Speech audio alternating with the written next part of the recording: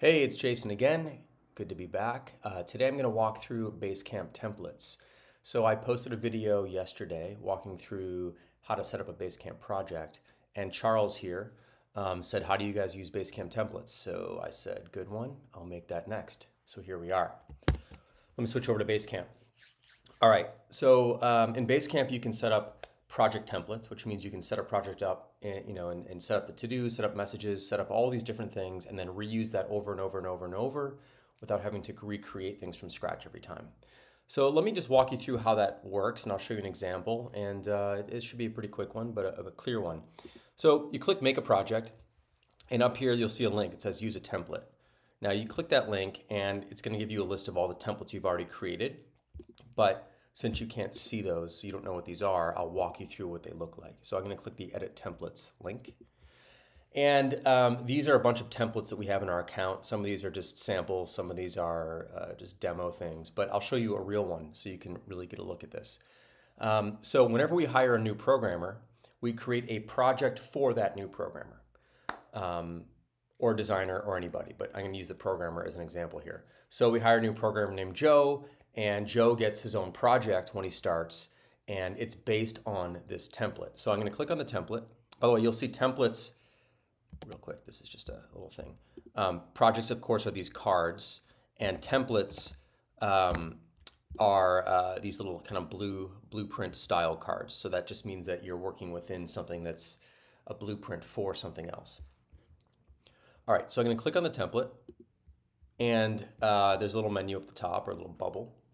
It says you can edit this like any other template. Um, so you can actually start a new project from this template right from here. You can also do that elsewhere. But let's get into the template itself. Again, on a blueprint background so you know what you're working with here. And in this case, we have three tools that are populated and then two tools that are not. So a template can have, a project template can have content in a tool, but it can also just have the tools that are set up that you might want to use for the project itself. So we have uh, a message board set up and Ali um, has an announcement to the person, says welcome to 37 Signals. I'm not going to click on that, but that's what that is. So that's there. Then we have basically a long collection of to-dos for the person and for us. So before you start, this is what the manager is going to do, and this is what the person's going to do. Um, or actually, sorry, not, not the person, this is people ops is going to do. Um, and then day one, here's the stuff that we need to do for you. Invite you to Hey, invite you to Basecamp, all those things, right? Week one, our tasks. We've got these things, these are called um, to-do groups in Basecamp where you can create a group and then group to-dos underneath them and you can color code them and, and set these things up. So it's you know really simple but also quite powerful. Um, week one, your tasks. So here's the stuff that we're gonna do for you. We need to set up all the stuff, VPN, get you set up on GitHub, a Duo account for two-factor authentication, all that stuff. And then week one, your tasks. Here's what we need from you, that sort of thing. And we just have a number of these, right? So those are all set up once, and then they show up in the project when you create the project. I'm gonna go back. Um, by the way, you'll see me to go back. So Basecamp, the interface is sort of based on sheets of paper. So this is the frontmost sheet, and the back, just to go back one level, you just click, you can click on the link, but you can also click anywhere in the back sheet is what we call it. So I'll just click over here. Um, we've got a single document in docs and files, which contains um, some basic stuff to start with, and then a bunch of links to other things that you're going to want to know or want to join in Basecamp. So some of these projects you're gonna need to ask to be added to, other ones you can just join, but here's all the stuff, especially if you're a programmer, that you're gonna want to join. So we have all that in one place for you and some other things that are, are useful to know, a glossary, code of conduct, all that kind of stuff. Place to get some t-shirts if you want, that sort of thing.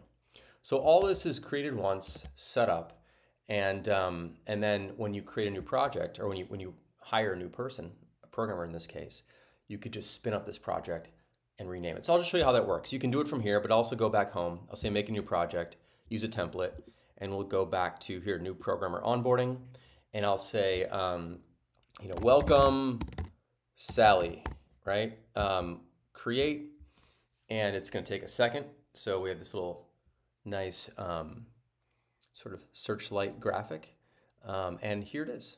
So Now, since I created the project, I didn't create the template, but I created the project, the stuff is from me.